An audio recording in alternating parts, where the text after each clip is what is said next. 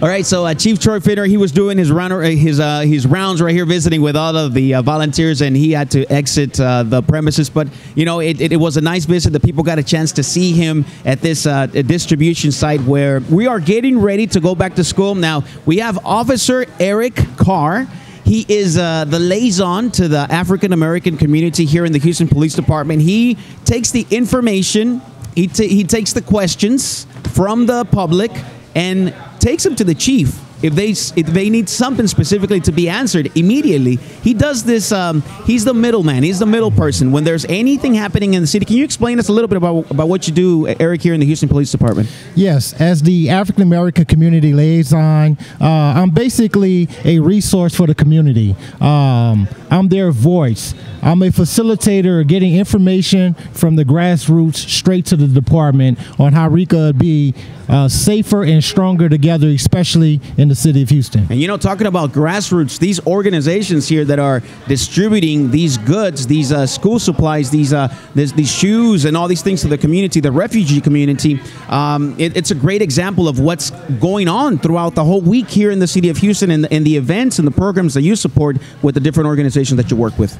Yes, the Houston Police Department has been leading from the front for decades. We understand uh, the value of partnering with our community, partnering with other organizations to help our community, help our citizens. That's right. Now, uh, to, and of course, uh, any any um, any group you you you're able to help if they go to you, if they have any questions about anything, you're basically the liaison to uh, to, to the chief's ear, right? Yes, I'm the uh, community liaison, particularly for the African American community. Mm-hmm. And if anyone wants to uh, reach out to the Houston Police Department Community Affairs, uh, feel free to give us a call. If you have any programs in your area, if you have any back to school programs or anything that could help our city be mm-hmm. safer and stronger, feel free to reach out to us. That's right. Now let's uh, let's uh, speak about some of the news that is happening around the city. Officer Carr. Now this is not because we're CNN or Fox or anything like that. We're not a news reporting agency, but we do like to get some uh, crime prevention tips out Absolutely. of these uh, news bits. Now, uh, domestic violence is something that is affecting a lot of communities now, and it's always been there. But this one, this one is uh, it's it's real tough. An innocent bystander shot outside the Northwest Harris County Kroger store. The gunfire from a nearby domestic dispute wounded an innocent driver during the weekend outside the Northwest Harris County grocery store. This incident happened around the midnight hours, and uh, it was outside a Kroger store on the 9100 block of West Sam Houston Tollway and West Road. The victim was inside a vehicle in a parking lot when someone fired a gun during a fight nearby. Authorities say uh, that the bullet pierced the man's vehicle and critically injured him. Um, he was taken to Ben Taub Hospital where he was in critical condition but stable. Investigators are looking for and looking into what led to the shooting. Of course, domestic violence. We see there's a problem, and we see that it's uh, it's in the increase. We are working with multiple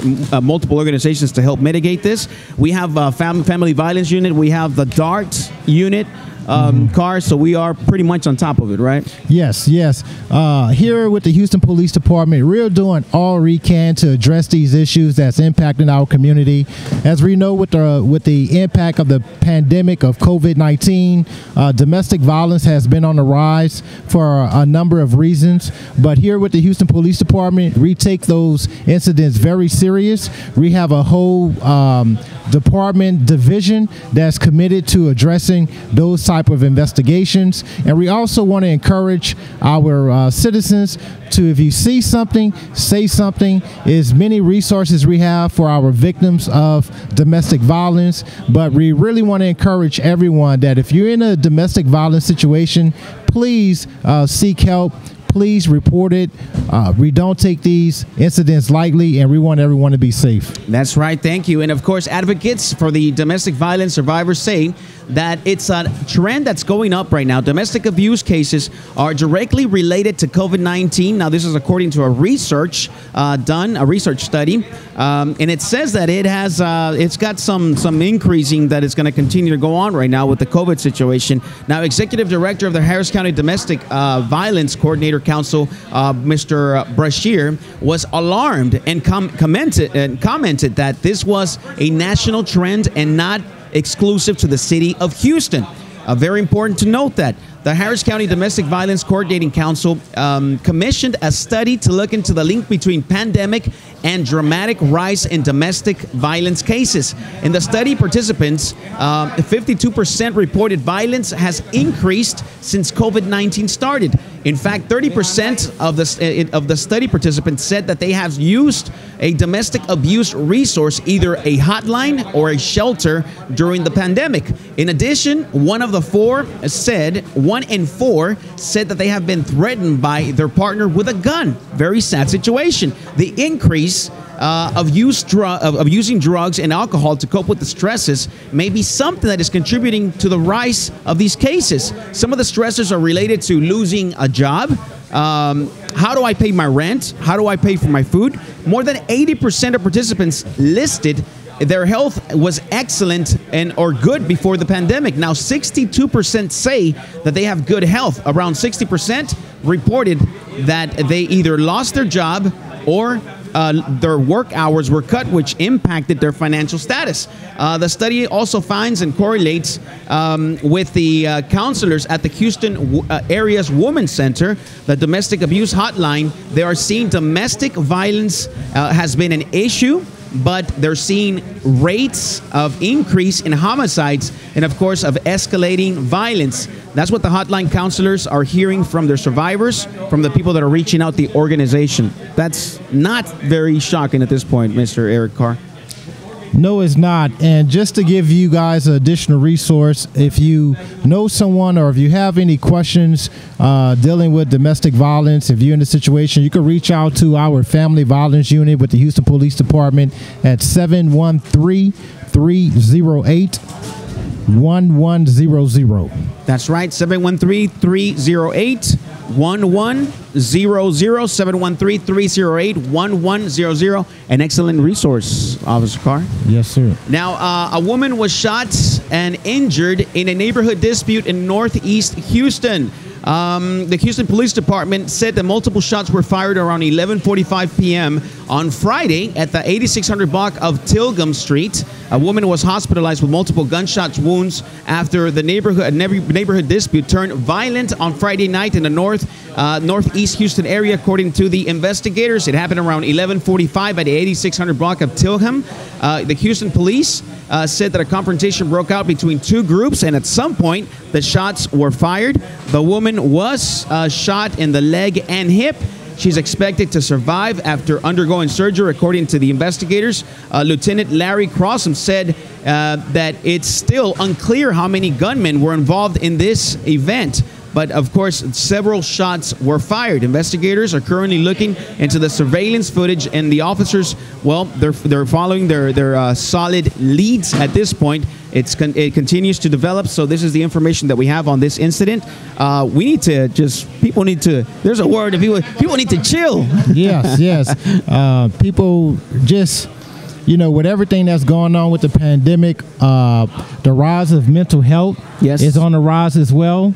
Uh, dealing with stress, anxiety, and a lot of people are not just dealing with it in a healthy way.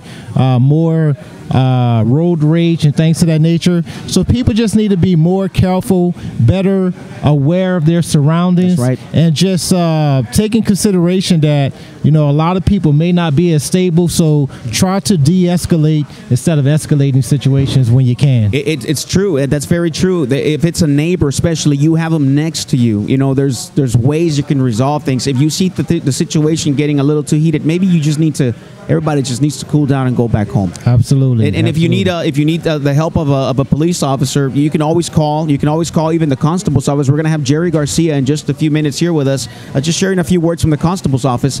Um, there's there's help out there. We you know we uh, as officers we tend to be counselors sometimes. Sometimes. Yes. yes. Yes. There's a lot of help out there, and we want to encourage people to take advantage of the resources that's out there. Mm-hmm. Also, if you're having a dispute with a neighbor, you can also take advantage of uh, the Harris County Dispute Resolution uh, Center. It's a free service for many uh, Houstonians in the in Harris County. So that's an additional uh, resource uh, resource that our community and neighbors could take advantage of if you find yourself in a dispute. That's right. Um, there's we, have a lot of resources uh, for the entire community. Now today we are living this uh, real nice, this beautiful event with the with this amazing organization that provides help to refugees, and uh, we are uh, basically witnessing what's about to commence. Uh, we're, we're going to be giving a whole lot of uh, resources, school supplies, shoes, and we have other events that are happening. For example, Eric. Yes, on September 14th, we have the Baker Ripley is partnering with the Houston other Houston organizations to hand out school supplies during this back to school health fair. They're also providing health screening information sessions and COVID-19 vaccinations for children and adults. So if you didn't get opportunity to get your COVID uh, vaccine vaccination for uh, children or adults, this is the opportunity. The fair will run from 8 a.m. to noon the location will be at the uh, Baker Ripley uh, Gulfton Sharpstown campus. Physical address is 6500 uh, Rookin Street, Houston. Also, Walmart will be having a back to school uh, rally as well. Yes, yes. Walmart. Can you tell us a little bit about some of those events? Yes, families are invited to Walmart's Here We Go back to school rallies. Uh, selected only selected stores will be participating and providing bags filled with free. I want to underline free school supplies. Students can also uh, pr- uh, practice their first day of school photos and their photo wall. Each of the following events would happen from 2 o'clock p.m. to 6 o'clock p.m. sharp. On August 19th, we have it at um, 18,700 Highway 105 West. That's in Conroe. We also have it at 1407 North Loop, 336 West in Conroe as well. Also uh, on uh, August, the um, 336 West Conroe, that's going to be August 13th. Mm-hmm. And uh, 105 West Conroe is going to be August 12th. Yep. On August 14th at 15 955 FM 529 Road. Mm-hmm. And also on August 14 at 3450 FM 1960 Road West. And last on August 15th at 9024 Spencer Highway in LaPorte, Texas, uh, at that Walmart location. So here we go. Those are nice uh, back to school rallies. They're giving some goodies away. So um, if you want to revisit that list, we'll, we'll uh, mention it later on. But uh, you can also revisit the program here in our social media with the Houston Police Department. Now uh, we have uh, Commander Reed this this uh, on this day on this special edition, special recorded program from uh, this amazing event that um, is being hosted, so we can help the refugee communities. Um, and of course, this is in your in your area, in in your district. Yes. So I'm the commander over the Midwest Patrol Division. Um, just around the corner is our station off of Regency Square. And I just wanted to show up today and just show, support for such a wonderful group. Not only is this amazing annual uh, backpack and, and, back to school drive that you all have, but just the other services that you provide year round for your transitional homes, uh, for your food uh, food bank that provides uh, food, and then education to our community. So just wanted to show our, my support for the community out here. Uh, and just see what a wonderful event and, and all the volunteers today. I had a, a, few moments to speak with a few of them, and uh, some of the young men and women are in school and just uh, spoke with them about um, the service they're providing here today and dedicating their time and how important it is to show service and how um, it just is just rewarding. And I've dedicated my life to service to the community and service to the city of Houston. And I think it's wonderful that they're volunteering today in, in service and just didn't want to um, stop without thanking them for importance. And, and, you know, right as they as they start, uh, I see I saw you meeting some of the volunteers. Mm-hmm. They never get to meet the, the, the, the, the chief or they never get to meet the commander. They never get to meet the, the power, the, the, the shakers of the community because they're always working. They're always there. But it's good that, that you guys arrived a lot earlier so you guys can actually meet the ones that are working that, that actually nobody even credits ever for for any of this, right? Absolutely. Now, this is the ICNA uh, re, uh, Relief um, uh, Back to School program for the Islamic Circle of North America. It's a leading grassroots of Muslim organizations, uh, and it's very proud to, to, to introduce this event. Now, we're here, we're recording this event because there's multiple um, school supply distributions that are going to be going around the city. Now, we have another one programmed on Saturday. Can you tell me a little bit about that one? Absolutely. We have one at our Midwest Patrol Station, so we'd like to invite all of you next Saturday. It'll be from 10 to 1. Uh, there'll be uh, some, some beverages provided, um, some uh, different units that are specialty units within HPD that'll be coming to join. And we just invite the community to come out, and it'll be another backpack event, so there'll be some free supplies on hand that'll be given out to the children. Uh, some masks as well for those who would like some, and just wanted to show support for our community for those that may not uh, be able to afford some of these items that we want to support the education uh, and just help them make being as successful as they can be at all ages. Is there a number that we can contact, we can call for more information? Oh, certainly have. Um, see, uh, my, of my card here that you all can have. Uh, Perfect. But it's there's all, it's at 7277 Regency Square, which is just right around the corner from here, from uh, Plaza Americas.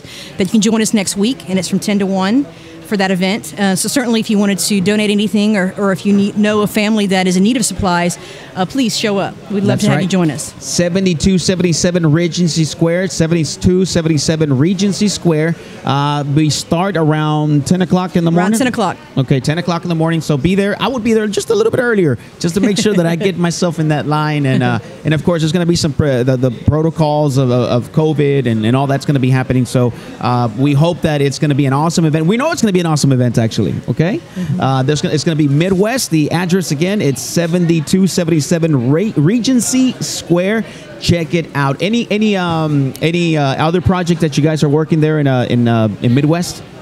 Uh, just, just overall, um, we have lots of, of things that we do with our different response team, our community uh, policing officers that are working uh, throughout the community. They work with the senior centers. They work with um, just various community groups and apartment complexes. Help educate managers, help edu- educate owners uh, on how to improve their um, properties.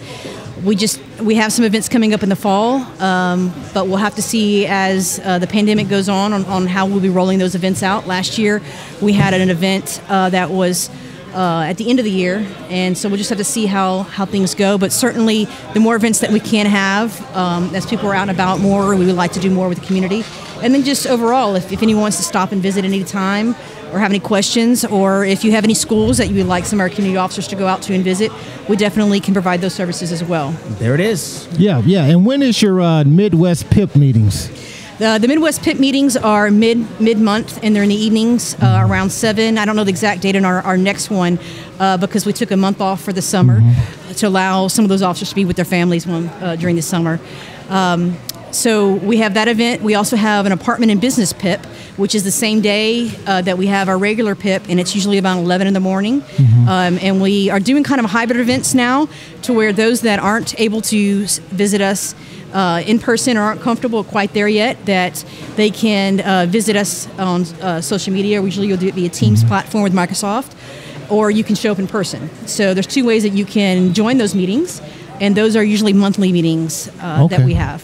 There you go. Okay, and just for the audience, um, the Houston Police Department have PIP meetings. These are positive interaction programs that the department actually facilitates to allow our community members who actually live in that particular uh, neighborhood or subdivision or that part of the city to actually come out hear their uh, so the department could hear your voices, your concerns, or any recommendations or you or sugge- suggestions you may have. Um, so just to give you uh, some dates of upcoming meetings, if you live in South Central part of Houston, the South Central Police Station is located at 2202 St. Emanuel.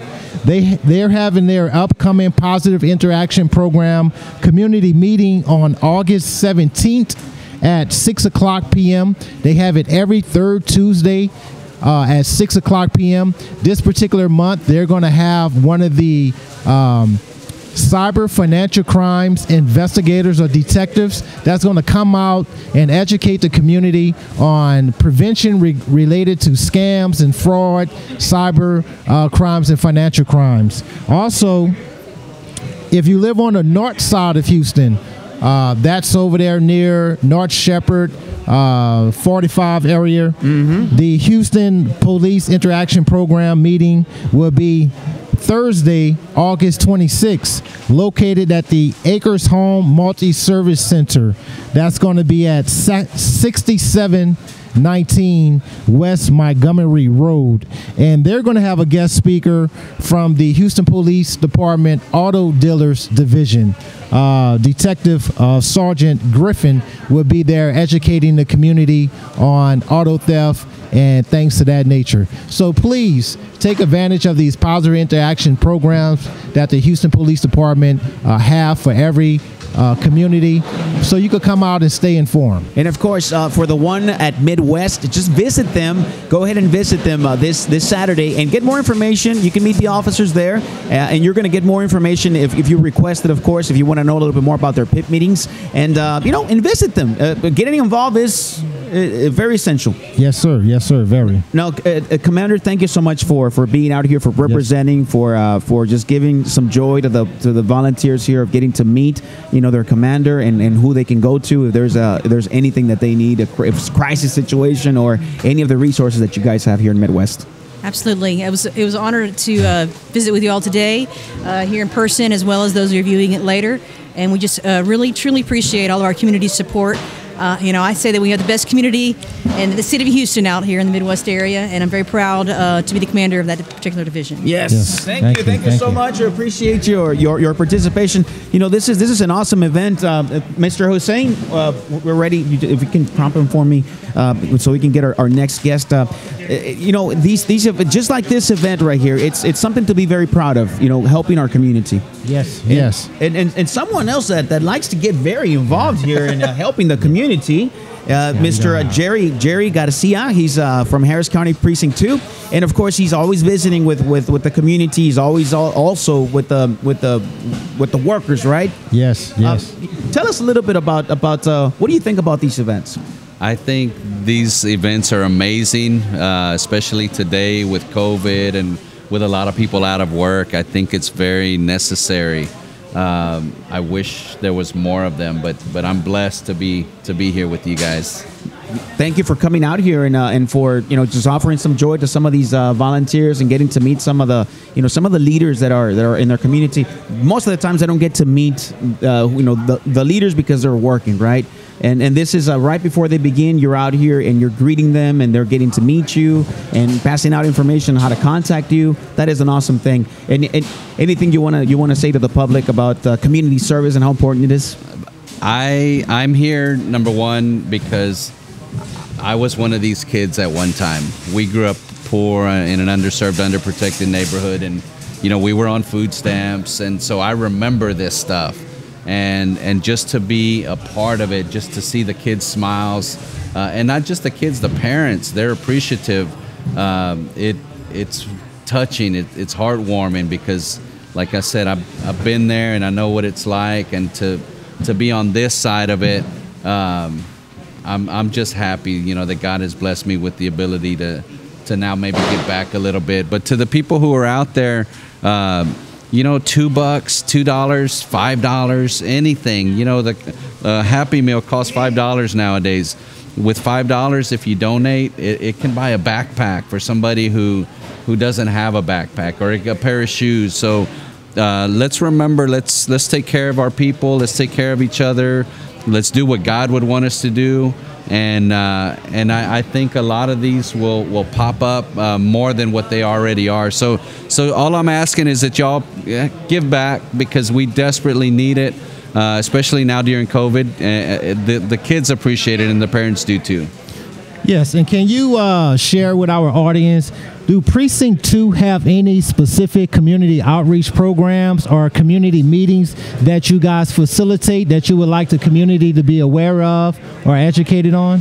So what we do is we started a uh, an adopt a senior program back in March of 2020 when this COVID pandemic first came out. Uh, as everybody knows, our seniors are the ones that are most affected. And what what I was thinking at the time was, uh, if you think about it, you, when you go to the grocery store, you don't see very many seniors there. Mm. So because they were most affected by it and they were ha- they were having to stay home, uh, myself and a couple of friends, we we started this program. We were thinking, okay, let's take food to them. Uh, so so that's how our Adopt a Senior program started, and uh, so we, at the time we were focused primarily on our seniors. One thing led to another. It got a little bit bigger and bigger and bigger, and my, I lost count. But the last time we counted was 52,000 meals that we had served, and that was months ago. Uh, but the Adopt a Senior program led us to other things. So uh, pretty much any social issue, what I've learned, uh, I've been in office since January 1st. Um, we have to be more than police officers now, in my opinion. I think we have to do social work. We stumble upon things, and and we can't just say, "Hey, uh, I, I'm a police officer. Here, go over here. They'll take care of that." We don't do that. We take care of it ourselves. So uh, during COVID, when the vaccines came out, people were falling through cracks. You had to have a computer to register. That was the only way you could get the shot. Well, a lot of our seniors and poor folks, we don't have computers, so they couldn't register. So I called the city, I called the county. Nothing really was being done. So we ourselves went out and we registered them. We ourselves picked them up, took Wow. them to the, get their shot. Great. So pretty much any social issue that we can help out with, that's what we're doing. Okay, and can you provide a contact number, a phone number for the people if they want to get in contact with you or Precinct uh, 2 or any of your staff regarding any of these programs or if they have any specific questions? And can you get more closer to the mic so they can hear you? If you have uh, any questions or y'all want any information, y'all can contact our office. It's Precinct 2, Harris County Constable's Office at 713 477 2766.